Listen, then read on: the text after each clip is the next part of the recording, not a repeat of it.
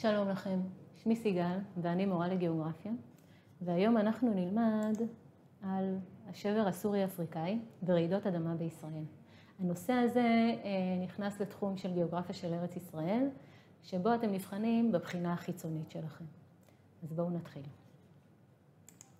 מה אנחנו הולכים ללמוד היום? היום אנחנו הולכים להכיר את השבר הסורי-אפריקאי קצת יותר מקרוב, כיצד הוא נוצר, מתי הוא נוצר, מה ההשפעה שלו על הנוף של הארץ, מה ההשפעות של השבר הסורי-אפריקאי פרט לנוף, יש לו עוד השפעות נוספות, מה הקשר בין השבר הסורי-אפריקאי לבין אזורים שמועדים לרעידות אדמה, ואת דרכי ההתמודדות עם רעידות אדמה בישראל. בואו נתחיל. אז בואו נתחיל עם השבר הסורי-אפריקאי וההשפעה שלו על נופי הארץ. אז בואו נכיר את השבר. אנחנו נתחיל דווקא עם המפה. איפה השבר שלנו? אני מסמנת כאן עם העכבר שתוכלו לראות בדיוק את אזור השבר.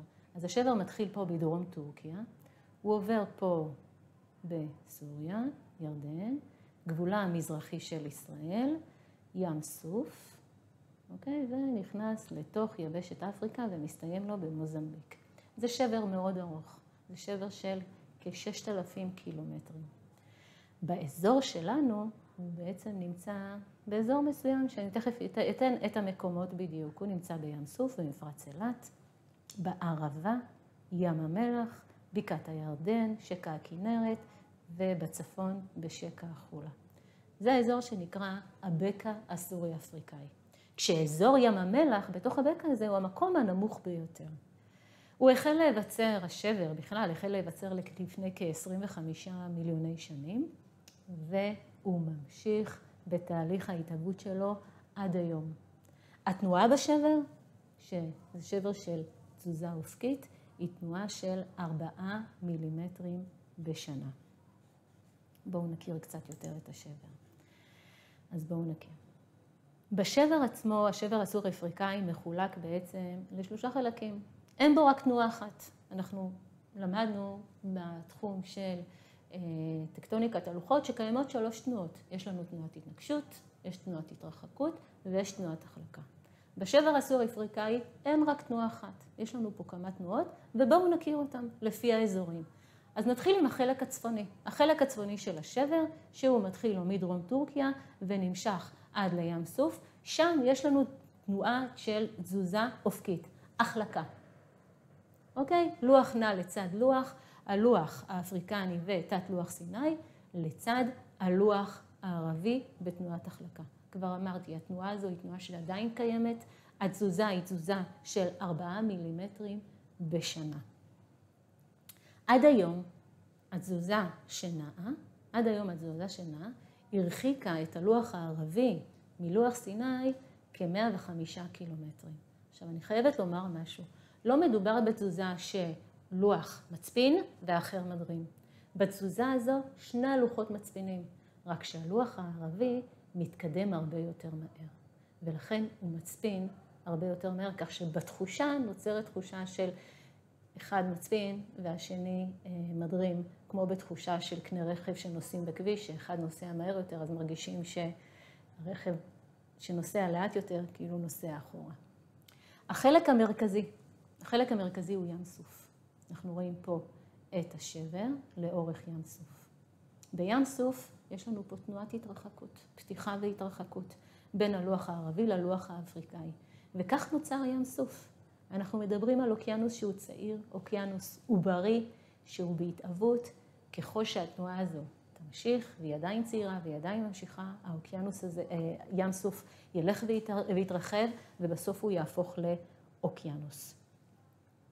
נעבור לחלק הדרומי, שהוא בתוך היבשת, הוא כבר אה, תנועה, זה, מדובר פה על תנועה של פתיחה והתרחקות בין הלוח האפריקאי ללוח הסומלי. בדומה לים סוף, אנחנו מדברים על כך שקודם מתחילה תנועת התרחקות בתוך היבשת, וברגע שהתנועה הזאת תמשיך, האזור הזה גם הוא יתמלא בים, וגם פה בעתיד גם יהיה לנו אוקיינוס חדש. בעתיד, שוב, אנחנו מדברים על עוד מיליוני שנים. בואו נראה מה הולך להיות באמת בבקע הסורי-אפריקאי בעוד מיליוני שנים. אז אם אמרנו שקיימת תנועת התרחקות ב... ים סוף, והתנועה הזאת תימשך, כי היא עדיין קיימת. אז ככל שתהיה לנו התרחקות, אנחנו רואים, זה ימשיך להתרחק, זאת אומרת שים סוף בסופו של דבר יתחבר באופן טבעי לים התיכון, והיות וים סוף כבר מחובר לאוקיינוס השקט בחלקו הדרומי, אז הים התיכון יתחבר בסופו של דבר לאוקיינוס ההודי. ואנחנו נתייחס רגע לאזור שלנו, לבקע הירדן. אז בואו נראה את בקע הירדן. בקע הירדן הוא חלק מהשבר, האורך שלו 420 קילומטר, הרוחב הוא יחסית צר, 15 קילומטרים בממוצע. התנועה, כבר אמרנו, התנועה היא תנועה אופקית, אבל מה שחשוב לומר זה שהשבירה היא לא שבירה ישרה.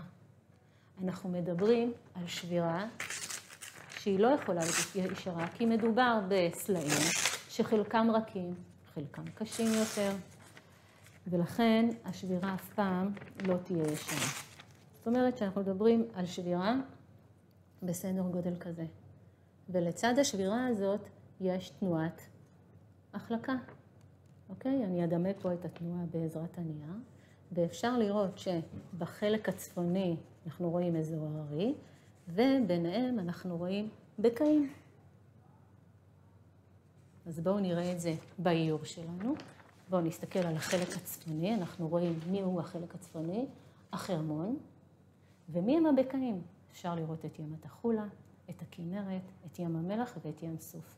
הבקעים האלה נוצרו, ועם הזמן הם התמלאו כמובן במים, מים מגיעים, במי גשמים מגיעים לאזורים נמוכים, הם מצטברים שם, ואז בעצם כל הבקעים האלה הפכו להיות לימות. איזה השפעות נוספות יש לשבר הסור-אפריקאי? אז בואו נכיר עוד השפעות נוספות. תראו, השבר הסור-אפריקאי יצר עמק, נוף שהוא עמק, לאורך כל הגבול המזרחי של ישראל. נוף שהוא עמק הוא אזור קלאסי להקמת תשתיות, תשתיות של כבישים, תשתיות של כבישים שניתן בקלות להקים פה תחבורה יבשתית. ואכן, כביש 90.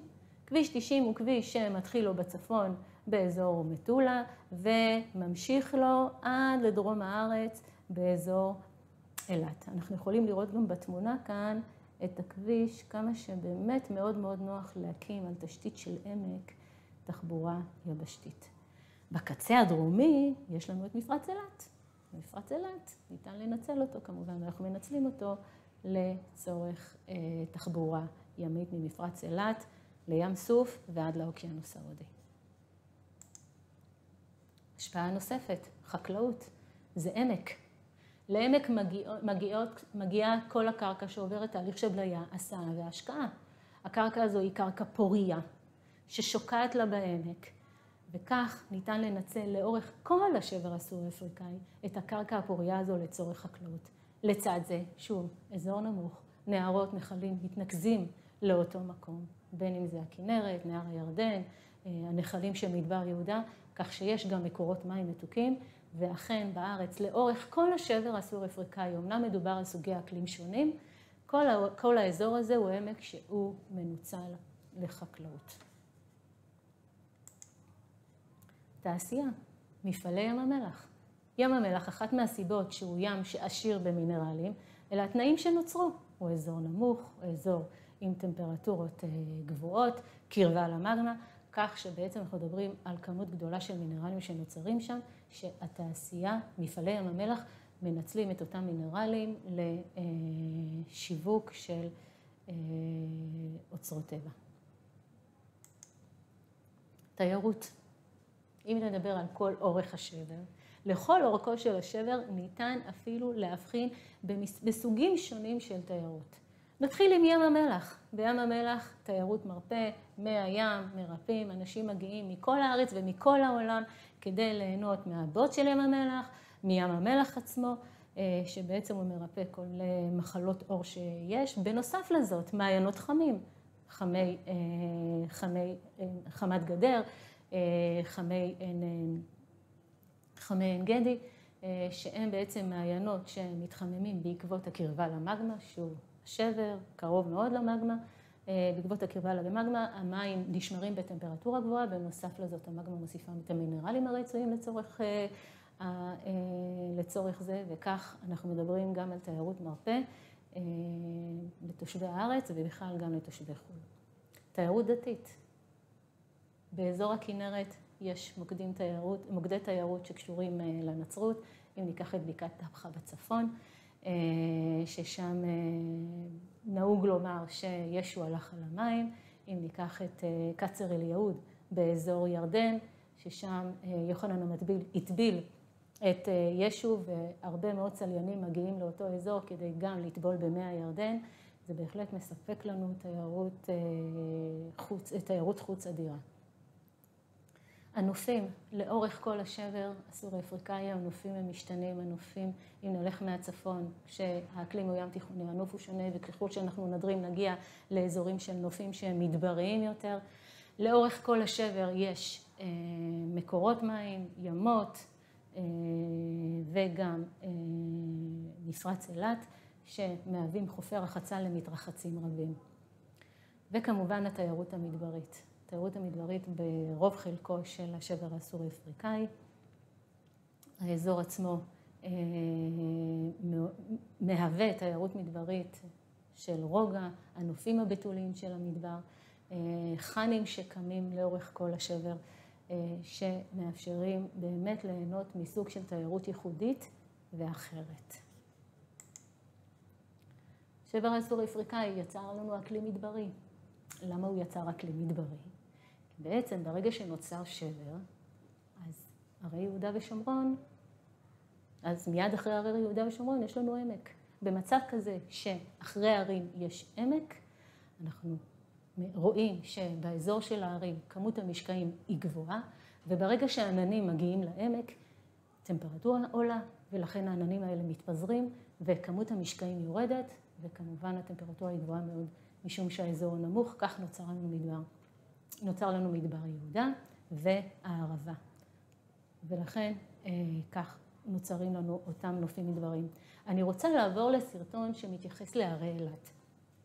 הרי אילת אומנם לא נוצרו בשבר, בתקופת השבר הסורי-אפריקאי, אבל הם חלק מהשבר והם אחד מהיעדים התיירותיים המיוחדים שיש לנו בארץ.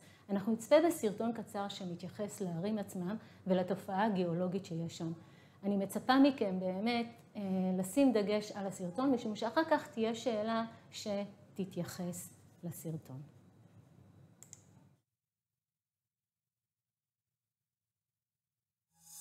ברוכים הבאים לשמורת הרי אילת.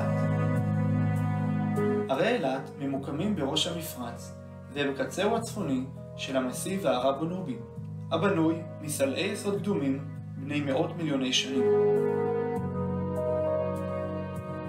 מגוון הסלעים והצבעים, הנגלים לעינינו, נוצרו בתקופות גיאולוגיות שונות ונחשפו עם הופעת בקע ים המלח והערבה, שברים גיאולוגיים וכוחות הבליה החיצוניים. בהרים ניתן להבחין בדייקים, גופי מחדר שעלו ממעמקי האדמה והתגבשו בתוך סלע הסביבה.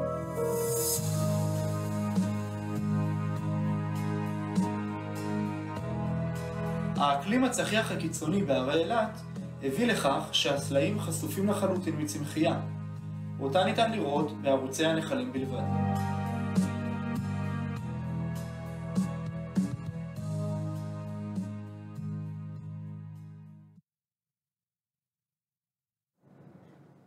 טוב, צפינו בנוף הייחודי של הרי אילת כמוקד תיירות. אנחנו עוברים למשימה. אז יש לפניכם תשעה היגדים. אתם צריכים לציין האם ההיגד הוא נכון או לא נכון. אנחנו נקרא את ההיגדים האלה לפני שנצא להפסקה, ולהסביר את הקביעה שלכם. אחרי ההפסקה אנחנו נדון בהיגדים. ההיגד הראשון, בהרי אילת מגוון סלעים, ביניהם סילי משקע יבשתיים, ימיים וסילי יסוד. על ההיגד הזה, אתם זוכרים שאמרתי לכם לצפות היטב בסרטון? יש לכם תשובה בסרטון. ההיגד השני, השבר הסורי-אפריקאי יצר את הרי יהודה ושומרון. צריך לקבל החלטה. ההיגד השלישי, התנועות בין הלוחות בשבר הסורי-אפריקאי הן תזוזה אופקית והתנגשות. ארבע, בעקבות תנועת הלוחות בעתיד, ים התיכון יהיה מחובר לאוקיינוס ההודי. חמש, השבר הסורי-אפריקאי נוצר לפני 250 מיליון שנה. שש, השבר הסורי-אפריקאי השפיע על עיצוב הגבול בין ישראל ללבנון. שבע, לשבר הסורי-אפריקאי השפעה רבה על הכלכלה בישראל.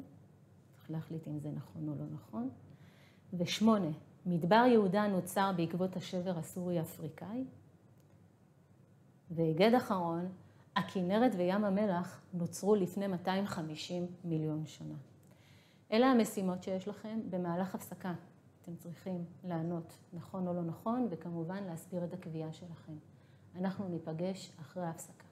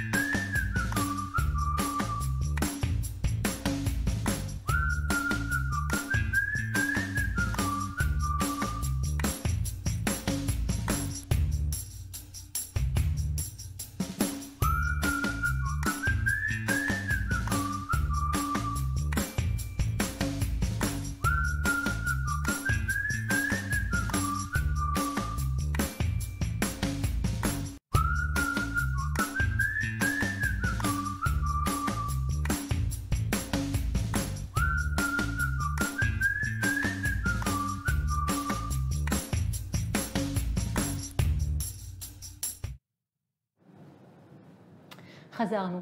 לפני ההפסקה הייתה לכם משימה של תשעה היגדים שהייתם צריכים להחליט אם הם נכונים או לא נכונים, וכמובן אה, להסביר את הקביעה שלכם.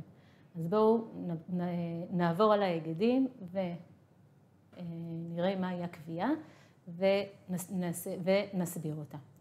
אז ההיגד הראשון, בהרי אילת מגוון סלעים ביניהם סילי משקע יבשתיים, ימיים וסילי יסוד, אז מי שבאמת שם לב לסרטון והתעמק בו, אז בהחלט מתייחסים לכך שבהרי אילת מה שמיוחד בהם כאזור תיירותי זה המגוון של הסלעים שהם אה, גם סילי משקע יבשתיים, גם ימיים וגם סילי יסוד שנותנים את הצבעים הכל כך מיוחדים להרי אילת.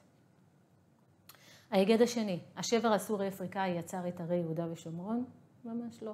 השבר הסורי-אפריקאי אין לו שום קשר להרי יהודה ושומרון, להפך, השבר הסורי-אפריקאי יצר את עמק, את עמק, אה, את כל העמק שקיים לאורך כל מזרח המדינה, שאנחנו מדברים על מעמק חולה עד אה, עד לערבה דרך עמק הירדן. היגד שלישי, התנועות. התנועות בין הלוחות בשבר הסורי-אפריקאי הן תזוזה אופקית והתנגשות. לא נכון. אמנם נכון תזוזה אופקית, אבל לא התנגשות, אלא התרחקות. ארבע, בעקבות תנועת הלוחות בעתיד ים התיכון יהיה מחובר לאוקיינוס ההודי? נכון. היות ובים סוף יש תנועה של התרחקות, אז בסופו של דבר ים סוף יתחבר לו לים התיכון, וים סוף ממילא כבר מחובר לאוקיינוס ההודי, כך שיהיה מעבר חופשי מהאוקיינוס ההודי לים התיכון. חופשי וטבעי. היגד חמש, השבר הסורי-אפריקאי נוצר לפני 250 מיליון שנה. טוב, זה היגד טריקי, שאלה טריקית, כי זה לא 250 מיליון שנה, אלא 25 מיליוני שנים. סעיף, אה, היגד שש, השבר הסורי-אפריקאי השפיע על עיצוב הגבול בין ישראל ללבנון? ממש לא. השבר הסורי-אפריקאי כן השפיע על עיצוב הגבול בין ישראל לירדן, משום שהגבול בין ישראל לירדן יושב על התוואי הטבעי שהשבר יצר, בין אם זה נהר הירדן, ים המלח והערבה, אה, וזה הגבול אה, היחיד בישראל שמתבסס על תוואי טבעי. היגד שבע, לשבר הסורי-אפריקאי השפעה רבה על הכלכלה בישראל, בהחלט כן, אנחנו כבר ראינו שיש השפעה רבה על הכלכלה בישראל, בין אם זה בתחבורה, בין אם זה בתיירות, אה, בין אם זה בתעשייה, בהחלט השבר השפיע מאוד על הכלכלה בישראל ומאוד מסייע לכלכלה בישראל למען האמת. היגד שמיני, מדבר יהודה נוצר בעקבות השבר הסורי-אפריקאי, נכון, כבר אמרנו שמדבר יהודה, היות והשבר יצר לנו עמק, אז לאחר הרצועה ההררית של הרי יהודה ושומרון, נוצר מדבר יהודה בעקבות הירידה בגובה, מה שנקרא, מה שנקרא מדבר בצל הרים. היגד תשע, הכנרת וים המלח נוצרו לפני 250 מיליון שנה. שוב, עוד שאלה טריקית, בדיוק כמו שאלה חמש, לא 250 מיליון שנה, אלא 25 מיליון שנה. אנחנו ממשיכים. אנחנו עוברים עכשיו נפרדים באיזשהו מקום מהשבר הסורי-אפריקאי, ואנחנו עוברים לרעידות אדמה בישראל, ונראה באמת מהו הקשר. אז יש לנו שבר סורי-אפריקאי. מה הקשר בינו לבין רעידות האדמה בישראל? אז כפי שאנחנו כבר יודעים, ברגע שיש גבולות בין הלוחות, כל תזוזה בגבולות שבין הלוחות תגרום, כל שחרור אנרגיה יגרום לרעידות אדמה. היות וכל גבולה המזרחי של ישראל יושב על השבר הסורי-אפריקאי, ואם אנחנו רואים כאן במפה, אפשר לראות את כל הנקודות שאתם רואים כאן, אוקיי? לא משנה כרגע באיזה צבע, תכף אני אתייחס לצבעים. אנחנו רואים שכל האזור עצמו, יש בו רעידות אדמה, וזה האזור של השבר הסורי-אפריקאי. כאן אני מתייחסת לישראל, אבל אנחנו יכולים גם להצפין גם למדינות אחרות. אה, לגבי הנקודות שאנחנו רואים כאן, ההבדל בצבעים ככל שרעידת האדמה היא בעוצמה גבוהה יותר, אז הצבע הוא כהה יותר. רעידות אדמה בעוצמות נמוכות יותר, הצבע הוא בהיר יותר. רעידות אדמה בעוצמות גבוהות יותר. אנחנו נראה שהעיגול גם, הסימן, הוא גדול יותר. את רעידות האדמה שאתם רואים פה באזור הזה, אוקיי? זו קפריסין. בקפריסין גם יש רעידות אדמה, אבל לא בגלל השבר הסורי-אפריקאי.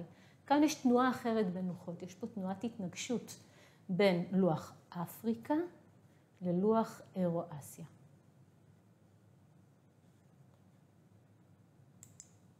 הלאה. האם בישראל יכולות להיות רעידות אדמה בעוצמה גבוהה? בוודאי.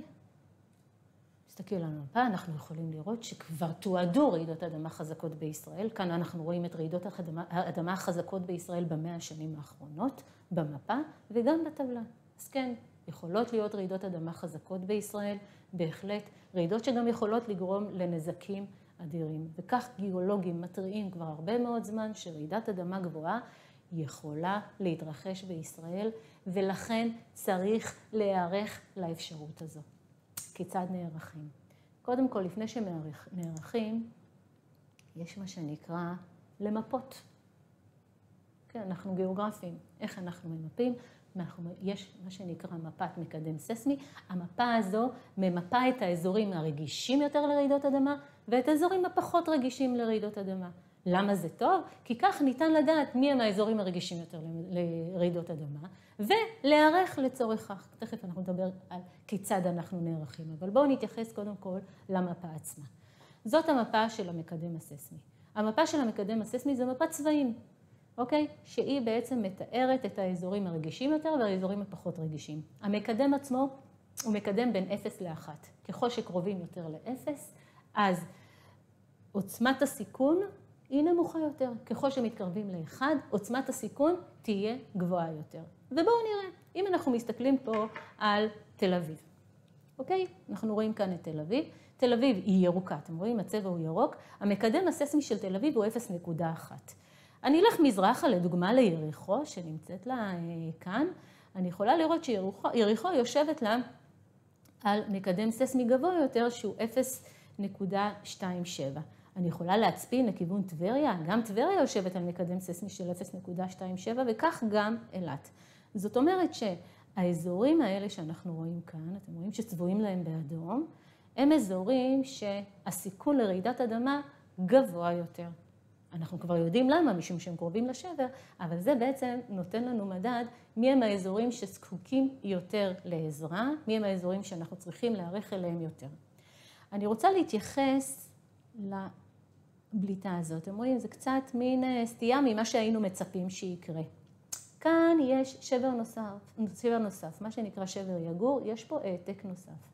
אמנם יש את השבר הסורי-אפריקאי שיושב לאורך כל המקום הזה, אבל לאורך השבר נוצרו גם עוד שברים נוספים והעתקים שהם העתקים בעצם לא אורכיים אלא רוחביים. וגם באזור הזה יש רעידות אדמה. ורמת הסיכון היא גבוהה יותר. כך שבעצם בחיפה לדוגמה, ובתל אביב, רמת הסיכון היא שונה. חיפה נמצאת ברמת סיכון גבוהה יותר מאשר תל אביב.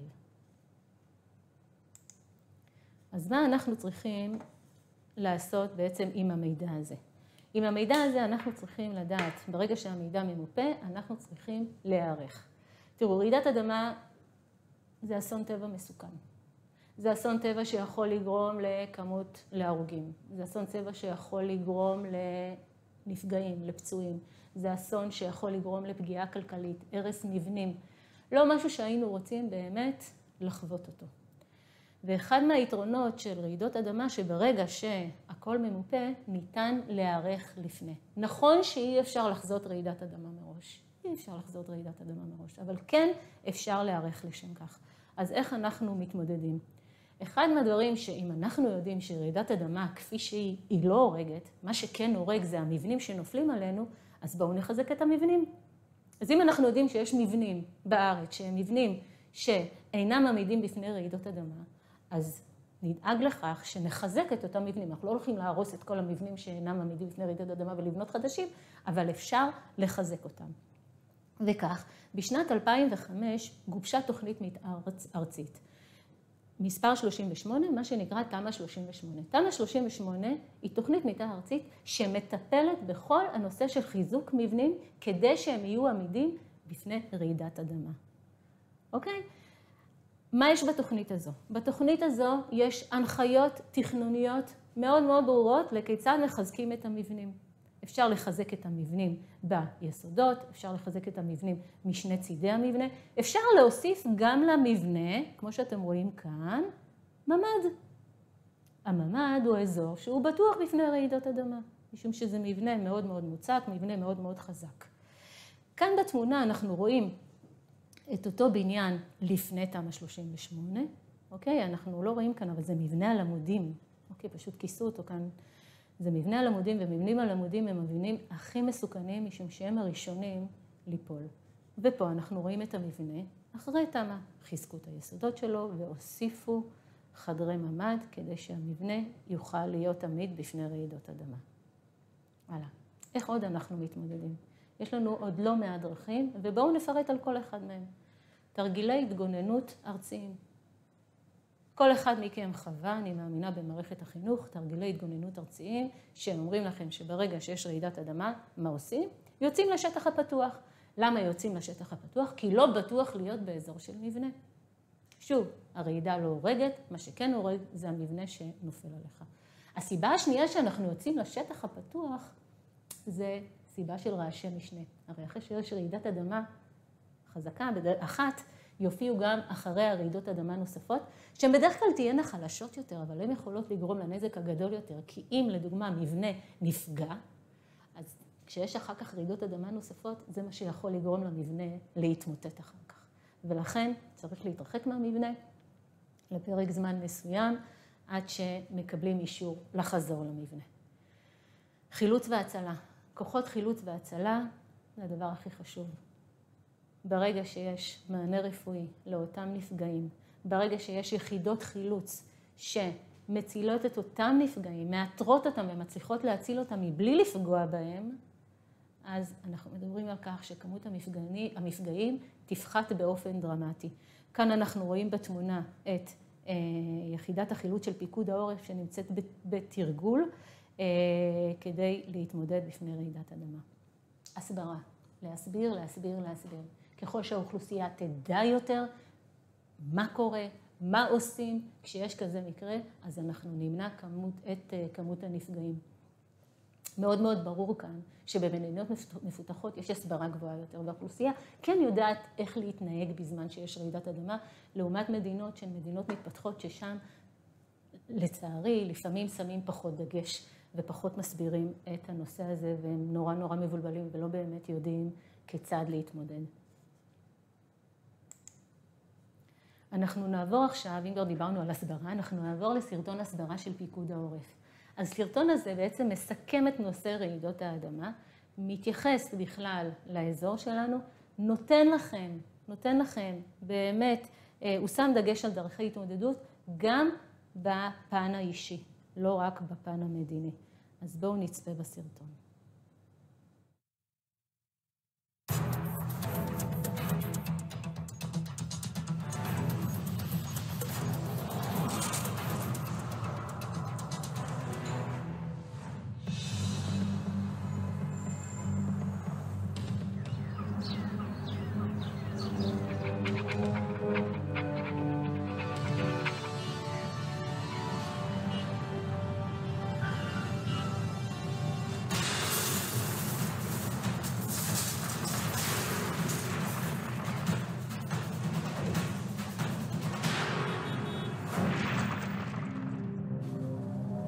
רעידות אדמה חזקות והרסניות התרחשו באזורנו מאז ומתמיד.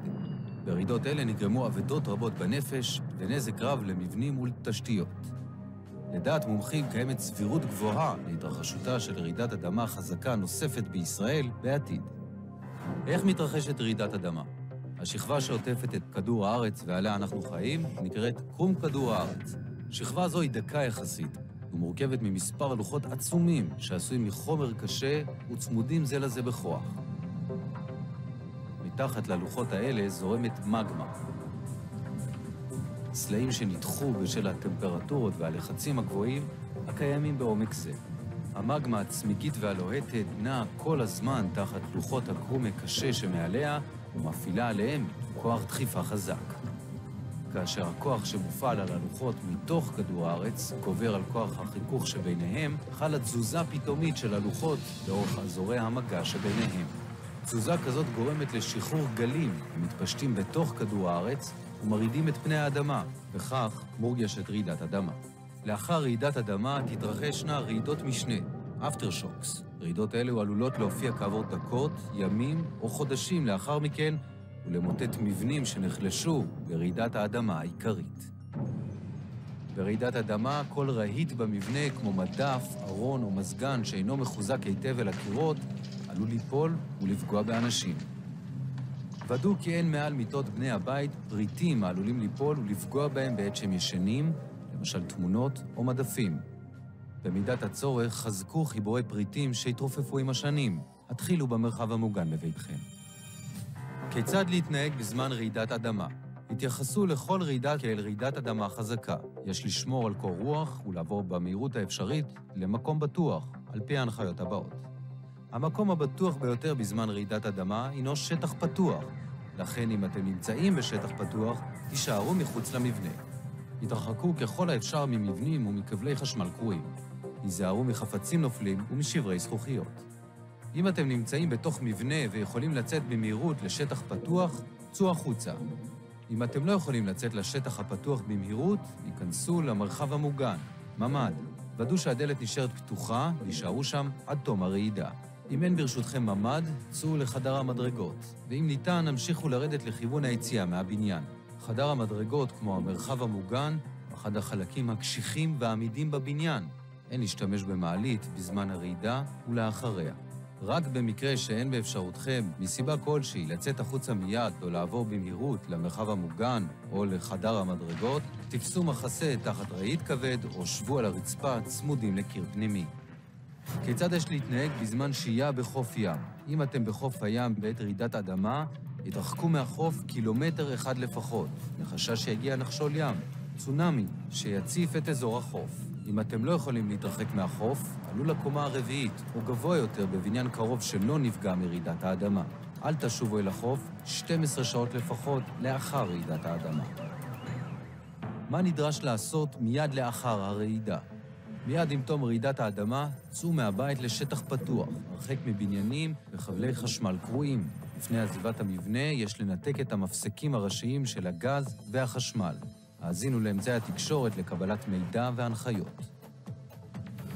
לסיכום, עלינו לזכור כי רעידת אדמה נוספת בישראל היא רק שאלה של זמן, והאחריות להתכונן לקראתה היא של כל אחד מאיתנו. נוכל למנוע אבדות בנפש ולצמצם נזק לרכוש אם נבצע כבר היום כמה פעולות פשוטות. נוודא שהבית בו אנו גרים עומד בתקן הישראלי לעמידות ברעידות אדמה. נבחר מראש מקום מוגן בבית, על פי ההנחיות שלמדנו בסרט זה, ונתרגל עם כל בני המשפחה את כללי ההתגוננות. נקבע מקום מפגש לבני המשפחה בגינה או במקום פתוח, במטרה שנוכל להתאחד לאחר רעידת האדמה. רעידת אדמה, אל תיתנו לה לתפוס אתכם לא מוכנים.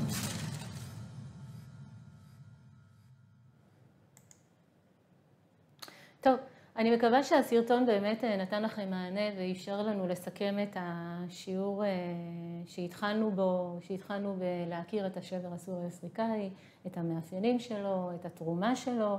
אה, לאחר מכן עסקנו ברעידות אדמה בישראל, מה הקשר בין השבר לרעידות אדמה, הנזקים, וכיצד מדינת ישראל נערכת להתמודד עם רעידות האדמה. אמ, אנחנו מסיימים את השיעור בשאלת בגרות. אנחנו, את השאלת בגרות היא לזמנכם החופשי, לקרוא אותה, לענות עליה. אני מקווה שהשיעור היה שיעור אה, מועיל, אה, ממצה, ובאמת השאיר את הידע שלכם בנושא. תודה על ההקשבה.